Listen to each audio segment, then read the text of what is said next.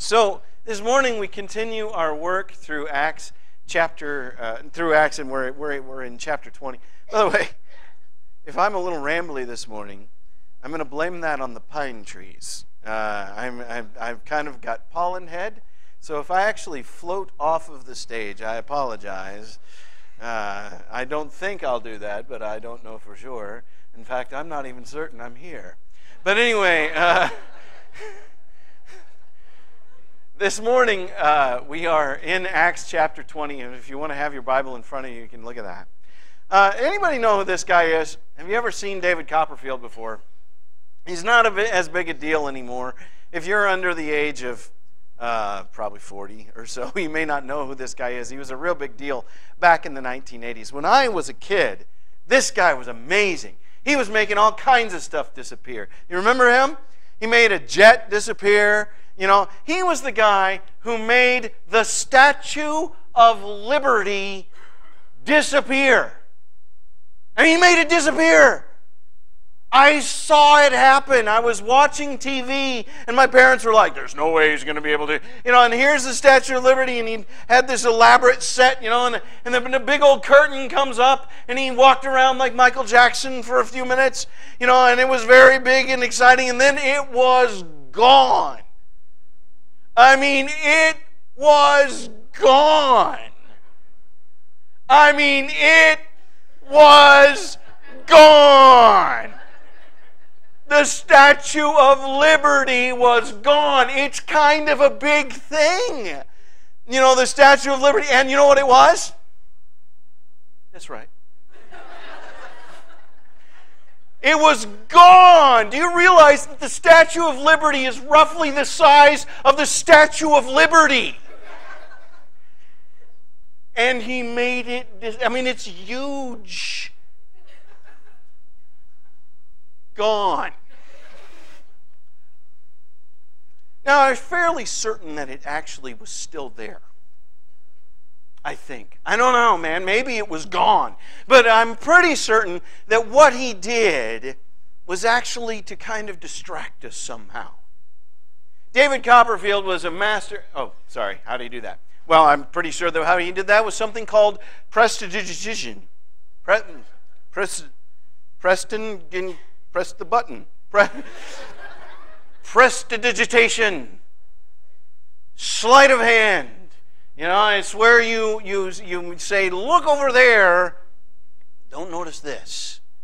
Prestidigitation is where you're incredibly talented with your hands and you're able to make. Now, I'm not sure how he used his hands to make the Statue of Liberty, but I'm pretty sure that this is what he was doing to make things vanish. They weren't really going away, he was just making it seem like they were. Have you ever noticed how often a magician will have a lovely assistant?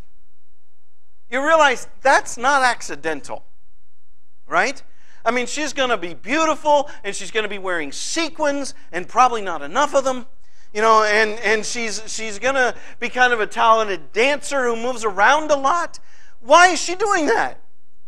Well, for at least half the audience, you know, he can be pretty sure where their eyes are going to be, right? You know, and the motion is distracting to the other half. So they're going to be looking over at her you know, while he's, you'll note that the magician will often point, nothing in my hand, right? And because, well, why was he doing this? Because he wants you looking here. He doesn't want you to see right here. He's going to direct your attention somewhere other than where he wants it to be, or where he wants it to be instead of where he doesn't want you looking right? Because the dove or the rabbit or whatever is actually coming out over here. But you're you're looking and boy, when someone points, you know, don't you feel like you need to look where they're pointing? I mean, it just immediately. Hey, well, let's let's try this. How many of you did it? You know, I mean, we look and and he's directing our attention. He's distracting us. He's making and and while we're distracted says uh, tricks of the trade.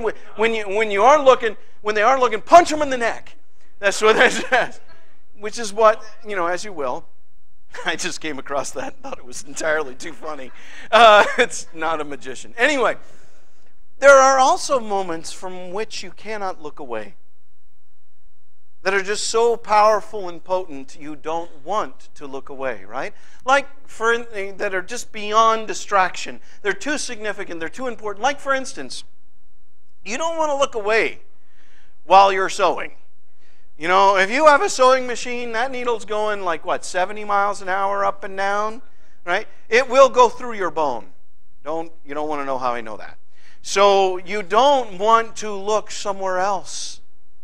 It's too important to be distracted. If a thing is of a great enough significance, I don't care if they drop the bomb. I'm not going to look away. Moments like, like this one. First day of first grade. I'm going to need a minute. How many of you think I took my eyes off of that moment? Even for a second. Even for a second. Or your kid is crossing a busy street. Do you look away? And you're probably holding their hand, right? Or how about this moment? I tell you where to look during this moment. Don't look at the back. She's coming. You'll see her in a minute. Look at the groom. That moment only lasts a second, but it's amazing. That moment when the groom sees his bride. You know, I pray often for Jesus to come back. I hope I get to see his face when he sees his bride. I just want to see his face. You don't take your eyes off the face of the groom because that moment is there for a moment, but it's there for eternity inside of his heart. If he's wise, he cultivates and remembers that expression even though he himself never saw it. And he locks that up because it's too important to become distracted.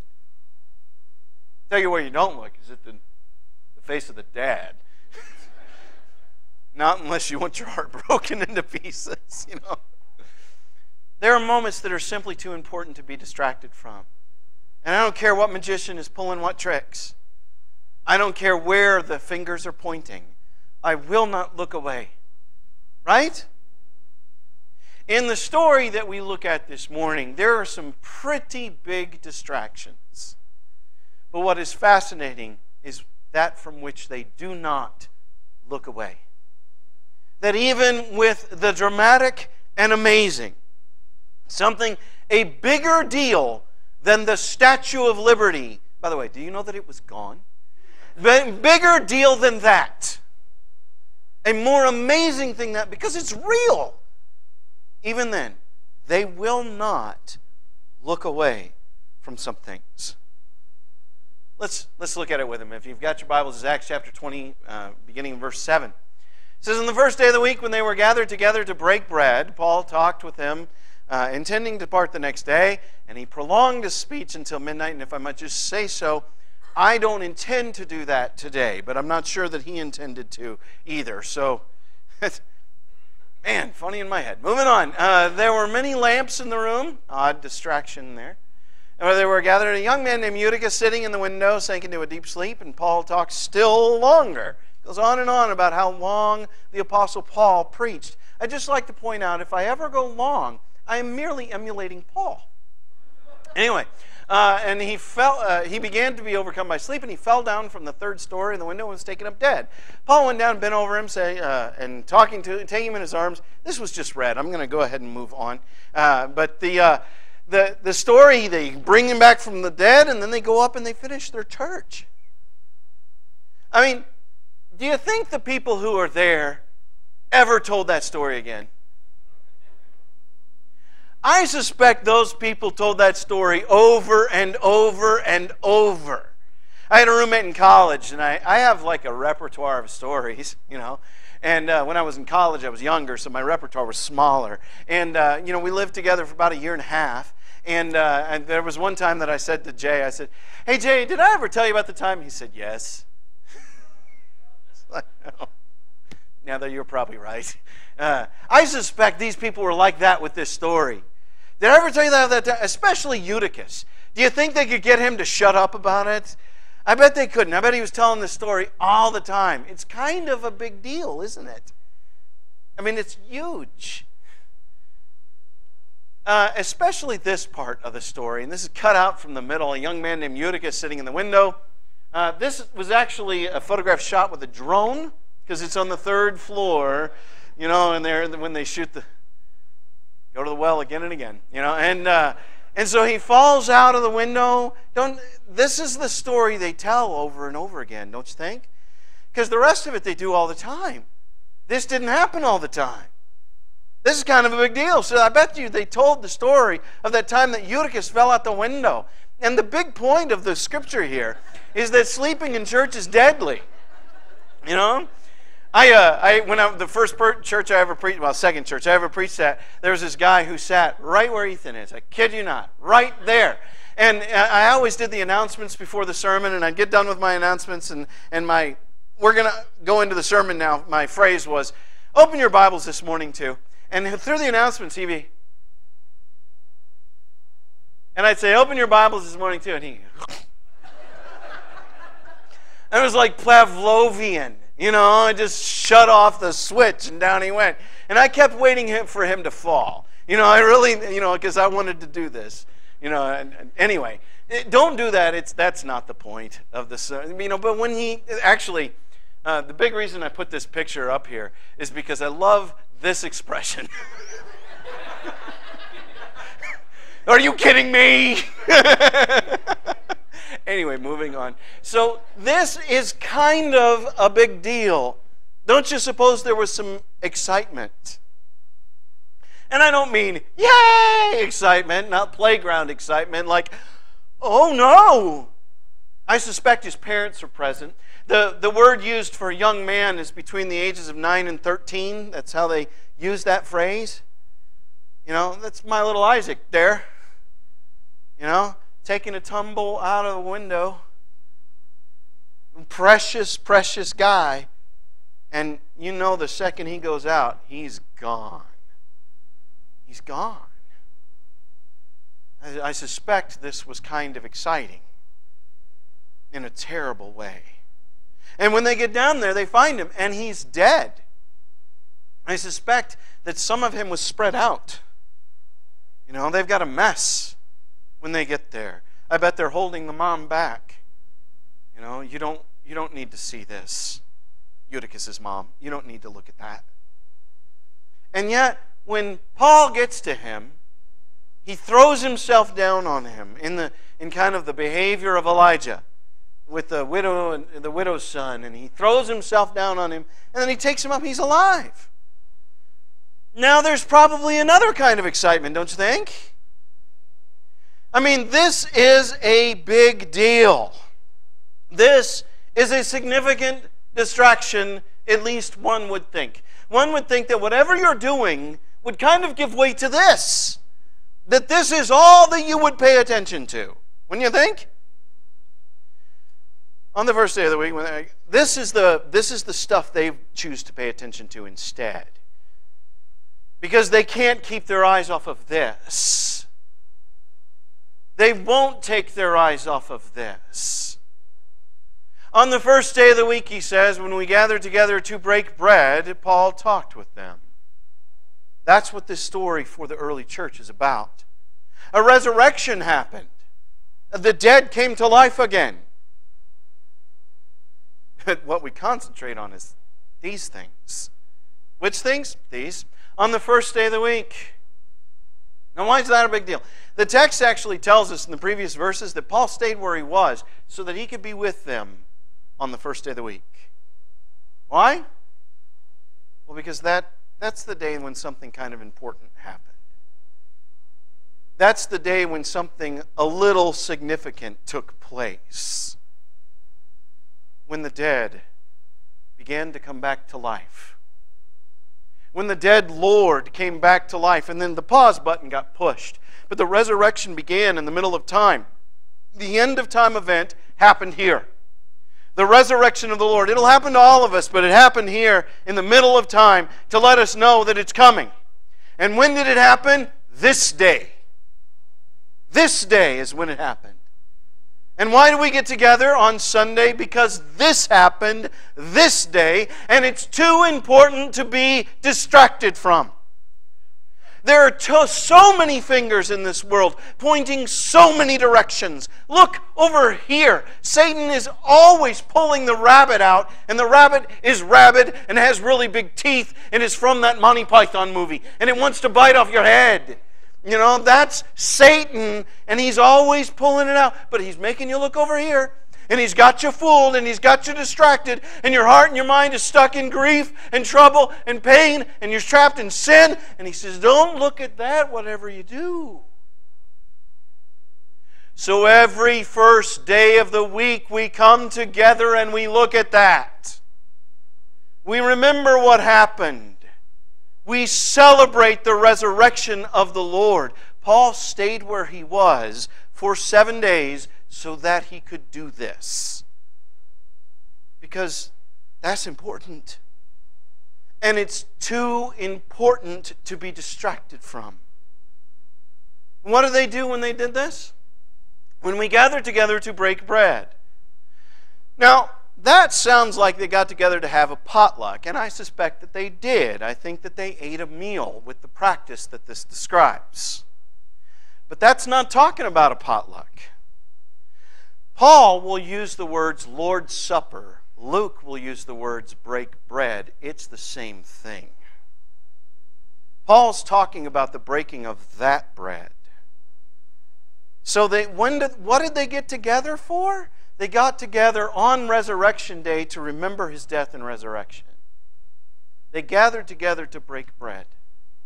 And I want you to notice this. It gets mentioned in the text twice you got when they gather together to break bread, and then Eutychus falls and dies and is brought back to life. And then, and when Paul had gone up, so he walks back upstairs. Why? To break bread. They hadn't done it yet, and he went and make sure they did it.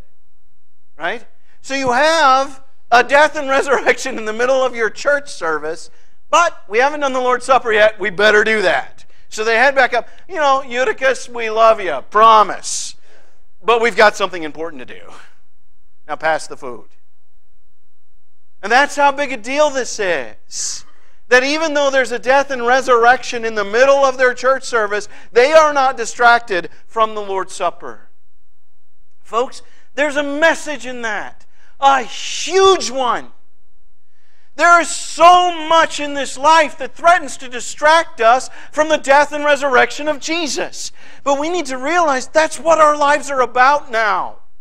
If we are followers of Jesus, then that's the center of our lives, and we need to come back to it again and again and again. Always. Not just on Sunday, but especially when we come together to do this. We come together to do this so that we can do it when we need to, when we're threatened, when we're harmed. We have to remember that God was faithful to Jesus and raised him from the dead. I don't have to attack or hurt. I don't have to do harm to anybody else because I'm a person marked by the breaking of bread. I don't have to lie to anybody to deceive anybody because I'm a person marked by the breaking of bread. I don't have to do anything to, to seek my own way because I'm a person marked by the breaking of bread. And I will not be distracted. No matter what Satan throws at me, I come back here. This is why we do it every first day of the week. It is too important not to. We are creatures that are easily distracted. Easily distracted. Here, let me show you. Let me show you. I've got a, right here, this is a Halls. Watch this. I can just make this thing disappear into my, oh, nuts. Hang on. my bad. Okay, all right. So I can make this thing disappear.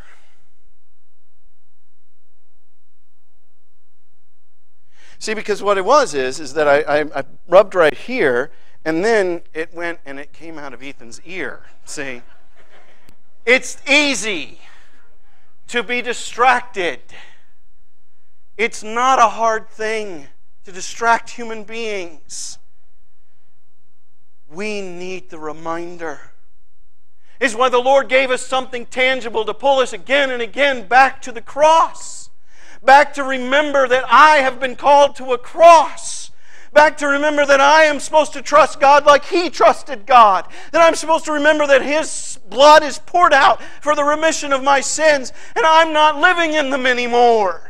I need the reminder, and I will not be distracted. Not even if something amazing happens, they aren't going to. Where did I put the clicker? They aren't going to be distracted by it. It's too important. And, oh, I made this point already. This is the meal that they're taking. They're remembering the meal given to them by the Lord to remind them of Himself. He is too important to forget. And Paul talked with them. Too important to be distracted from. You'll note that in terms of time, they gave a whole lot of time to this. I mean, he, talked until after midnight. And he went on and on and on. And the text even makes a point. Man, he was long winded that night, I tell you what. Why is this? Because the Word of God pulls us to God. The reason we need to hear this again and again and again, the reason we need these sermons, even if they're unbearably long, is because we need the Word of God. And it's too important to be distracted. You'll notice that after Eutychus falls, when they come back up, Paul keeps talking. You'd like to think that that would be such a huge big deal that he wouldn't be able to anymore. They'd be stunned by it. No, he kept on in the Word of God. Because he's planning to leave tomorrow and he doesn't have any more time. He's got to give these people what he's got. So he's setting them into the Word. Why? Because the Word is God's agent for the redemption of our lives. Word and table, folks.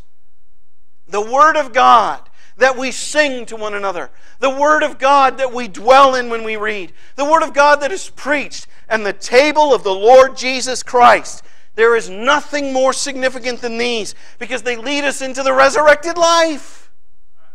They lead us into, into life that we would never find on our own. And they lead us away from all those things that distract us that ought not. It is the Word of God. And they won't take their eyes off it because they know it's a sewing machine world. If you stop paying attention, you get hurt. And they don't want that. Not for themselves, not for their kids, not for each other. They want to be whole. And so their focus is where it needs to be. This is Christian worship, folks. They would not be distracted from the breaking of bread or the proclamation of the word. They wouldn't take their eyes off it because it was the first day of the week and that was resurrection day. It was the Lord's day. And it was the day to remember the resurrection and that God is at work by His power among us. And we got to focus here because Monday's coming and Monday's hard. Monday, the man in the suit with the top hat shows up, or the cane, pitchfork, and the bifurcated tail. He comes with his wickedness to point in other directions and to pull us away. And I need my eyes focused on God. It's too important to be distracted. So every Lord's Day, they do it. It's worth noting that the miracle is one of resurrection and what was being proclaimed with bread and word? Resurrection. Maybe it wasn't this one wasn't such a distraction after all. Perhaps it even helped them, helped them to focus upon what they were doing, which was particularly important for Paul because the story is shifting now, folks. Paul is headed into Jerusalem, the city that killed his Lord. He's headed there and he knows the trouble waits for him there. Will he be able to be faithful? Well, it depends. Is he distracted? There are all kinds of things that distract us angers, sins, hatreds, uh, troubles, pains, being arrested, put in chains, mobs, riots. All kinds of things can distract this guy.